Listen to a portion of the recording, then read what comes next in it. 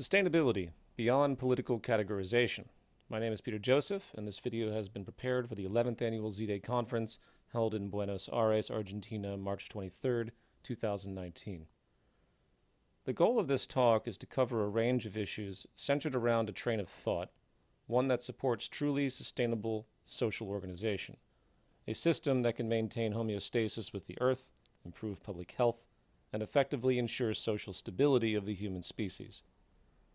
And part of this thinking is understanding the problems of thinking itself, and the difficulty inherent in the communication of this train of thought due to cultural bias, cognitive bias, a general lack of comprehension, impulsiveness, a drive towards simplistic understandings, and other problems that we see commonly when people are trying to evaluate new information. Our ultimate challenge as a movement is communicative, needless to say. And one central problem involves intellectual categorization, which refers to the tendency of people to hear a new idea, and due to a lack of understanding or clarity, or even willful misinterpretation at times, the idea is hastily thrown into some pre existing category shrouded with undue bias. We see this frequently when someone discusses social ideas that are not based upon market economics. The most common reaction today is to assume that anything that isn't based upon markets, isn't effectively capitalism, must be Marxism, it must be socialism or communism. Language being a collection of symbols with ideas formed in a kind of hierarchy, where a single word or idea ultimately becomes defined by other words and ideas, it's very easy for different people to hold completely different semantic understandings.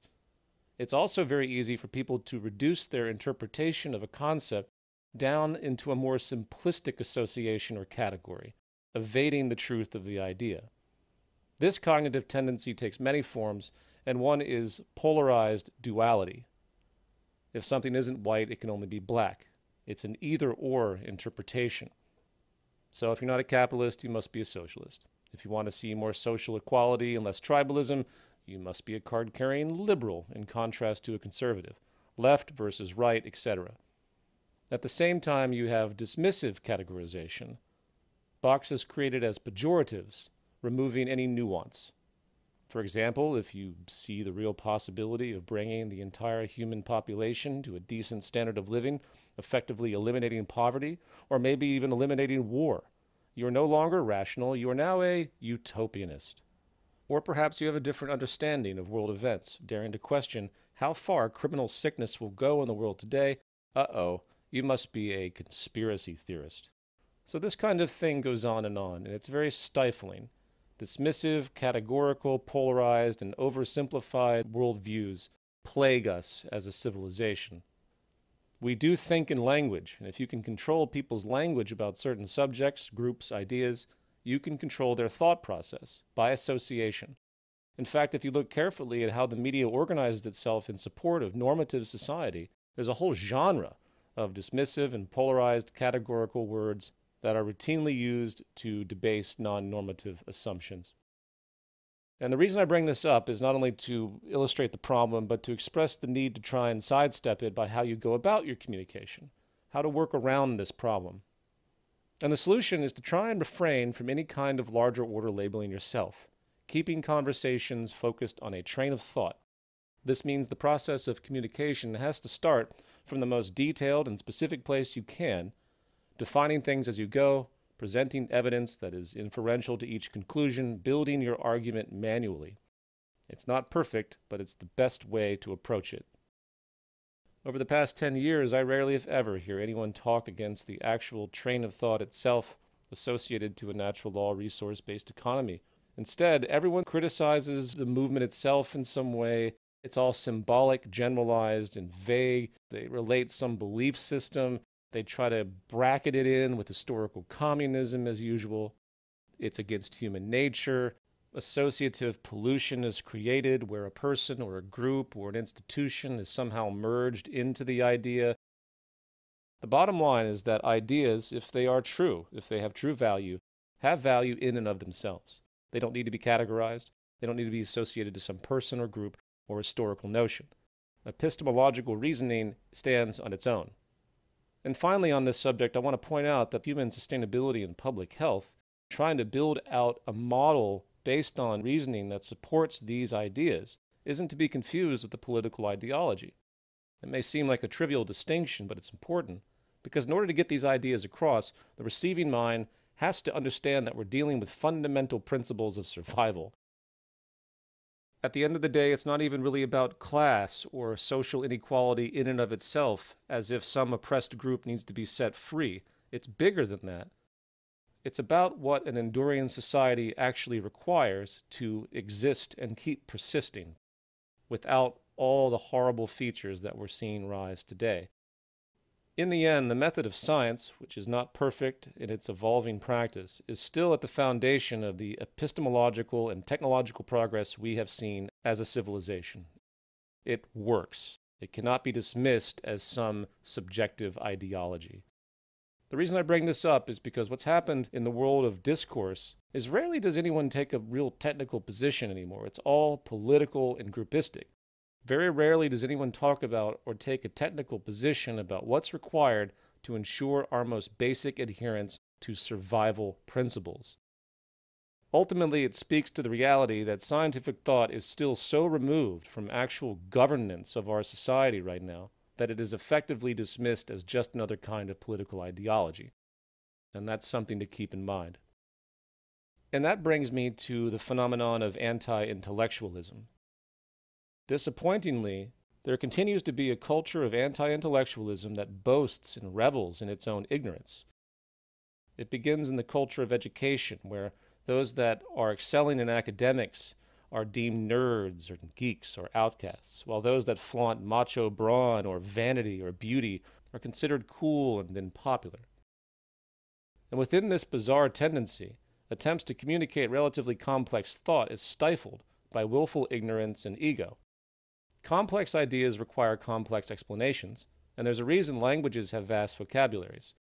Words generally represent ideas, and more nuanced ideas require more nuanced and detailed organization of language. Understanding more words effectively means understanding more concepts. There's an odd myth that you often hear when someone is faced with complex ideas that they're intimidated by. They'll say something like, oh, well, good ideas should be easy to communicate regardless, as if you're talking to a child. Well, while it's good strategy to simplify your language as best you can, any attempt to describe real world phenomenon is going to be inherently complicated. A basic reason the world continues to fall apart around us, in fact, is because almost every facet of our lives is governed by oversimplistic assumptions, propagated by oversimplistic language.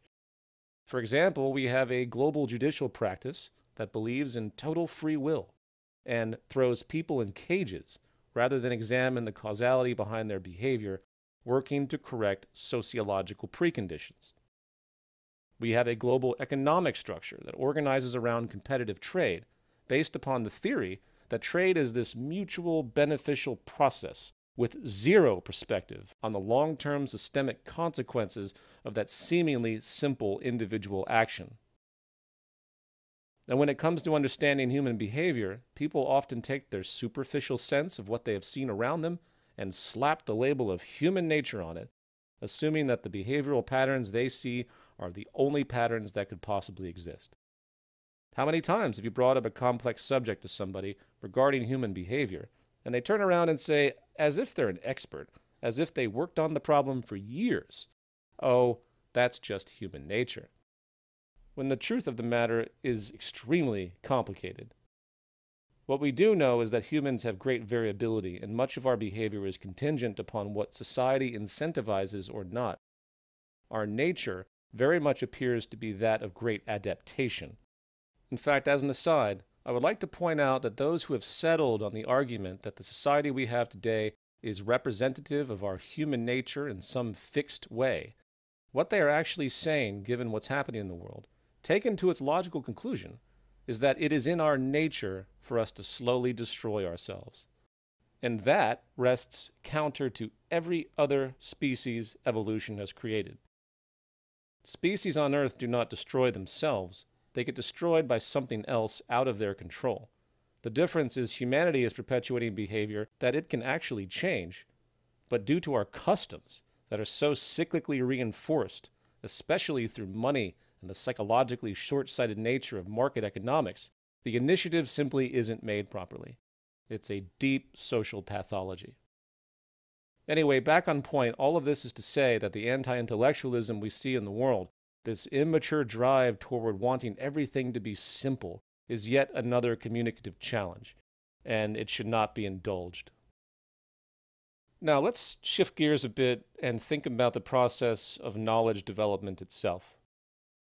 It's been well established that the most effective scientific disposition rests on the principle of falsifiability. Falsifiability in science means that one's more interested in disproving a hypothesis rather than proving it. In other words, a theory becomes true not only because of direct evidence to support it deductively, but also because that there is a lack of evidence to disprove it. Now, it may seem as if both perspectives are the same thing and accomplish the same goal, but the psychological disposition associated with falsifiability helps avoid cognitive bias. And what you'll find when you speak with people that are dogmatic about the way the world is today is they rarely take the opposite perspective and are constantly looking to confirm their own conclusions, not question them. For example, we very often hear today this declaration that market capitalism must be a viable system because it has brought a large number of people out of extreme poverty over the past century. To the extent that poverty reduction has been this significant over the years is actually quite arguable, but that's for another conversation. But assuming significant poverty reduction actually has occurred, to say it's because of capitalism is extremely superficial and the result of a willful interest to simply validate one's bias in support of markets, rather than be critical, which also might explain why the people most notable for promoting this happen to be extremely wealthy philanthropists. The technical problem is that in order to make that conclusion, you have to exclude the actual history of how these nations and societies became poverty stricken to begin with, and the history of how markets came to be established itself. People like Adam Smith did not invent capitalism in the Enlightenment. Its industrial and pre industrial permutations are part of a chain reaction that happened since the dawn of agriculture some 12,000 years ago. The kernel seed of this system is the very act of competitive trade itself. And once you have a system of people and then groups working to compete for income, hence consequentially turning into labor exploiters and resource exploiters for the market, every core characteristic of the economy and effectively the social system as we know it today was predictable.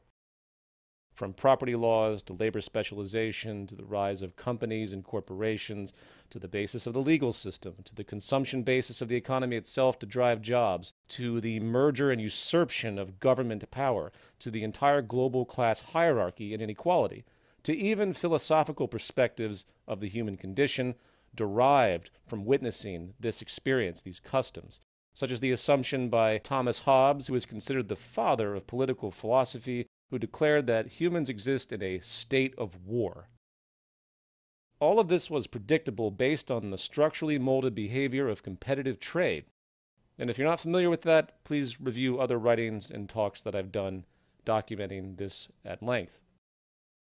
And with respect to socioeconomic inequality and poverty, once again, one part of that historical process has been nationalist economic power in the form of colonialism that has stolen regional resources and subjugated and effectively damaged whole countries for the sake of market exploitation, setting in motion chain reactions of long term deprivation and even vast corruption for that region. The people in the global south who are or have been in abject poverty over the past two centuries did not get there because they were left behind by capitalist progress. They got there because they had been robbed and abused by the capitalist incentive system, manifesting brute force acquisition and domination by other competing nations through war and colonialism. And of course, the same patterns continue today, but in less obvious forms by way of global trade agreements, economic sanctions, general economic globalization, and war once again. Only this time, war has turned into a different kind of profit system. In the context of the United States empire, war is an enormous business in and of itself.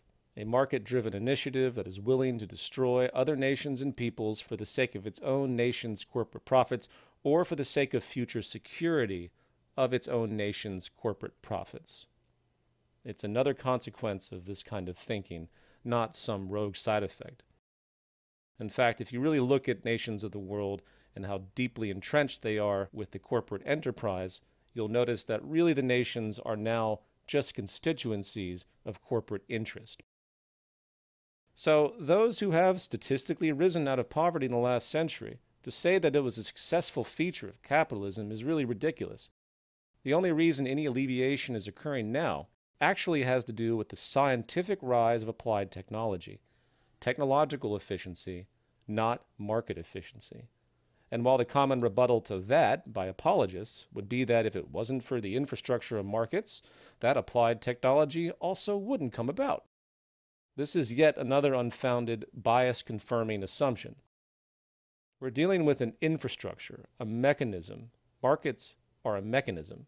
And there are many ways for, say, me to travel across the United States, technically with an infrastructure. I could walk, I could drive a car, I could take a train, I could take an airplane. And then to say that the only way to get from point A to point B is because of one of those mechanisms is to deny the existence of all the others, and to deny the existence of possible improvement, as if these infrastructures, these mechanisms, are the best that we could ever have. And when it comes to the development of science and technology, this is really an issue of epistemology, not trade and the market incentive. Human ingenuity is a natural process we embrace to adapt our understandings of the environment and build upon knowledge and even more, the better we can network together, the faster the process of intellectual development. So, the active foundation of the development of applied technology, solving problems, has to do with how people are networking information together and then organizing resources to apply given solutions. And to say that only markets are the most optimized form of this kind of information flow and economic development is silly and easily contradicted. What you'll find, in fact, is there's actually more inhibition of science and technology occurring than its expression. Because the market system's incentive is only about gaining income. If the infrastructure of society was not based upon that incentive, you would see an extremely different pattern of intellectual development and applied technology. The question becomes what kind of infrastructure is most conducive to allowing human ingenuity to flourish, and that, of course, is a conversation to be had its a lecture in and of itself. The point I'm trying to make here has more to do with bias confirmation than this particular fact. But the next time someone does make the remark that, oh, capitalism has brought more people out of poverty than any other system, make sure you shut them down by explaining that the only reason people were ever in poverty to begin with was because of the very framework that capitalism is based upon. Why? Because the system is structurally based upon the exploitation of scarcity not overcoming it with abundance. Socioeconomic inequality is a defining characteristic of this model, which inevitably deprives some cross section of civilization. The fact we have developed science and technology that has eased that stress has been utterly coincidental. Moving on, similar to the problem of short sighted perspectives and misunderstanding long term causality, there's a stunning denialism occurring when it comes to the structure of the market and its effect on the environment. While there is indeed a slow rise of people that are beginning to see the connection between this economy based on consumption to power jobs, adhering to a growth ethic, a competitive growth ethic, the mismanagement of the habitat, and the full magnitude of this connection is still seldom discussed. I am unaware of one prominent economist in public office or representative of higher education that unequivocally points out the fact that the economic system we have today is completely unsustainable by every measure, empirically and formally. If you're not familiar with the terms empirical and formal, empirical means as witnessed by history, observable data taken over time from the real world showing specific patterns, such as the fact that it is well established that every year humanity uses more resources than the earth cyclically produces, known as our annual resource overshoot. Formal, on the other hand, means by mathematical modeling. organizing variables that represent real life behaviors and interactions. And if you were to take the variables associated to market behavior and put them into a computer, analyzing the dynamics of incentivized trading behavior and market processes we experience every day, then placing that dynamic model inside of a finite habitat to set the machine loose, it would just be a matter of time before that theoretical habitat was completely destroyed by consumption and pollution. Why? Because there is no variable in the market economy that allows for a steady state balance, homeostasis, where the producing and consuming population is in harmony with the Earth's natural regenerative cycles. Returning to empirical data, in the context of ecology today, every life support system is in decline with enormous resource overshoot, pollution, biodiversity loss, and so on. I'm not going to go through the statistics here, as I've talked and written about it at great length before. But how does the mainstream consensus deflect this fact? That capitalism, with its complete structural antagonism to anything concerned with conservation and balance, seeking only turnover through sales and job growth and so on, how is this blanketed over? How is it justified? How is it rationalized? What do people do? They blame population levels. The thesis is that, up, oh, it's just overpopulation, folks. We shouldn't change the system. We need less people. This is a very common argument, even though it's not particularly popular. We're exceeding the carrying capacity of the Earth, some would say. Once again, it certainly appears like a valid conclusion, but there's no real concrete evidence that humanity has or is about to exceed the true carrying capacity of the Earth because how you assess the carrying capacity of the Earth isn't even properly understood. The carrying capacity of the Earth is not a fixed number. It is contingent upon how resources are used based upon technological strategy. Generally, quantitative changes in carrying capacity occur through the process of ephemeralization, as I've talked about before, coined by R. Buckminster Fuller, and also what Jeremy Rifkin derives as zero marginal cost in production.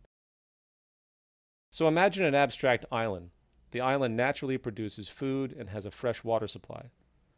An average person's needs are about 64 ounces of water each day and about 2,000 calories.